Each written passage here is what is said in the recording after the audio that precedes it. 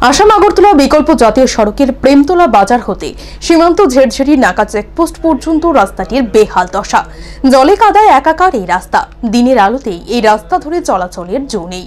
অবিলম্বে রাস্তাটি সংস্কারের দাবি জানিয়েছেন স্থানীয়রা। দুশো আট নং আসাম আগরতলা বিকল্প জাতীয় সড়কের প্রেমতলা বাজার হতে সীমান্ত এলাকার ঝেড়ঝেড়ি নাকা চেকপোস্ট পর্যন্ত প্রায় তিন কিলোমিটার রাস্তা। অন্যদিকে বৃহত্তর কুর্তি এলাকার জনগণের যাতায়াতের জন্য এই সড়ক ব্যবহার করতে হচ্ছে। বিকল্প সড়কের ত্রিপুরা অসম সীমান্তের ঝেড়ঝেড়ি থেকে প্রেমতলা বাজার পর্যন্ত সড়ক দীর্ঘ কয়েক বছর ধরে সংস্কারের অভাবে বেহাল দশায় পরিণত হয়েছে। পাকা রাস্তা নয়, এজন্য কৃষিভূমিতে পরিণত হয়েছে। রাস্তার ওপর রয়েছে পুকুর সমন গর্ত। ফলে জনদুর্ভোগ চরমে উঠেছে। শোখা মরশুমে এই পথ পেরোতে পথ চলতি যাত্রী ও যানচালকদের নাভিশ্বাস উঠলেও বর্ষা মরশুমে এই রাস্তা ধরে চলাই মুশকিল। এই রাস্তা দিয়ে দিনের আলোতেই পায়ে হেঁটে চলতে পারেন না এলাকার মানুষ। যানবাহন চলাচলের কোনো উপায় নেই।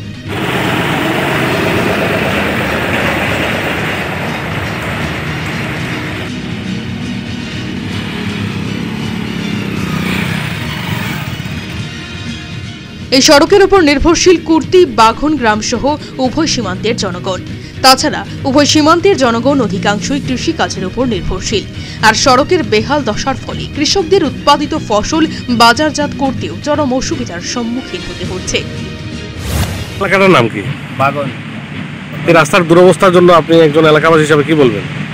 এইখানে তো আমরা নেতা সবই জানে এটা রাস্তা মানে পুরা কুর্তি অব্দি রাস্তা এরকম ভাঙ্গা ডেলি দুর্ঘটনা স্কুল আছে কয়েকটা।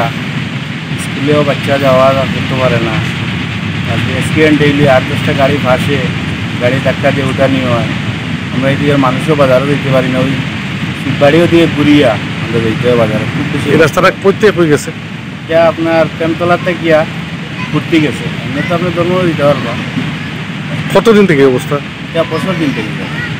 আপনারা এখন এলাকাবাসী হিসাবে কি দাবি রাখেন? আমরা চাই যে সরকারের কাছে যে এটা আমরা খুবই কষ্ট স্কুল কয়েকটার বাচ্চা যেতে পারেন না এটা মেরামত করার লাগি মানে খুবই যে কষ্ট আমরা এলাকায় আছি স্থানীয়দের অভিযোগ কোনো রোগী অসুস্থ হলে হাসপাতালে নিয়ে যেতে হলে চরম ভোগান্তি হচ্ছে। এমনকি এই পথের উপর ভরসা বাঘন উচ্চতর মাধ্যমিক বিদ্যালয় এমিজা বেসরকারি English medium school kurti high মাদ্রাসা বাঘন গ্রাম পঞ্চায়েত সহ অন্যান্য সরকারি ও বেসরকারি প্রতিষ্ঠান। আর রাস্তার বেহাল দশার ফলে কচিকাঁচা স্কুল পড়ুয়া ছাত্রছাত্রী থেকে শুরু করে অফিস আদালতের কর্মীদের সমস্যা হচ্ছে।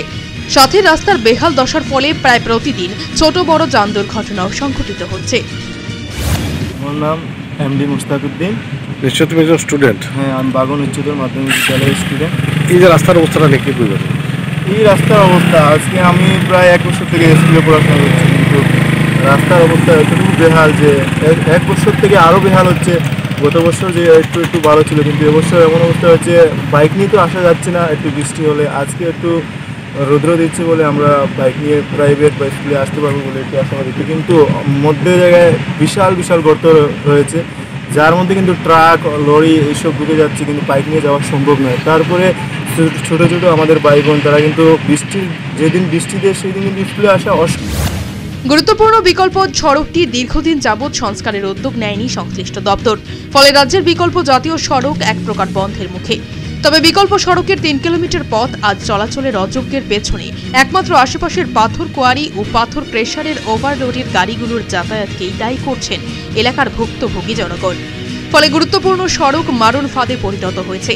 এদিকে এলাকার শাসক দলীয় স্থানীয় নেতৃত্ব সহ পাথর ব্যবসায়ীদের ভয়ে ক্যামেরার সামনে অনেকেই মুখ খুলতে নারাজ। পাশাপাশি কয়েকদিনের অবিরাম বর্ষণে আট নং আসাম আগরতলা বিকল্প জাতীয় সড়ক যাওয়াতে এক প্রকার প্রাণের ঝুঁকি নিয়ে চলাচল করতে হচ্ছে ছোট বড় গাড়ি সহ নিত্যযাত্রীদের সবচেয়ে বেশি দুর্ভোগ পোহাতে হচ্ছে যানবাহন চালকদের। কি চাও তোমরা? আমরা তো চাই রাস্তাটা ভালো কতদিন থেকে এরকম অবস্থা? প্রায় এক দেড় মাস কি কারণে মূলত এরকম হয়েছে রাস্তার হয় আর সরকারের কাছে কি দাবি রাখবে? ওটাও দাবি রাখব যে রাস্তাটা ঠিক হইতো রাজ্যের স্থলপথের একমাত্র ভরসা বিকল্প জাতীয় সড়ক। কিন্তু এই সড়কটির করুণ দশার ফলে রাজ্যের লাইফলাইন যে চরম ঝুঁকিতে রয়েছে, তার বলার অপেক্ষা রাখে না।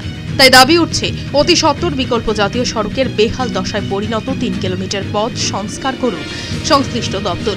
অন্যথায় গণতান্ত্রিক পদ্ধতিতে আন্দোলনের পথে হাঁটবেন বলে জানিয়েছেন স্থানীয়রা। রাস্তা সংস্কারের জন্য মুখ্যমন্ত্রীর দৃষ্টি আকর্ষণ করছেন এলাকার নাগরিকরা। Bureau report, news Vanguard.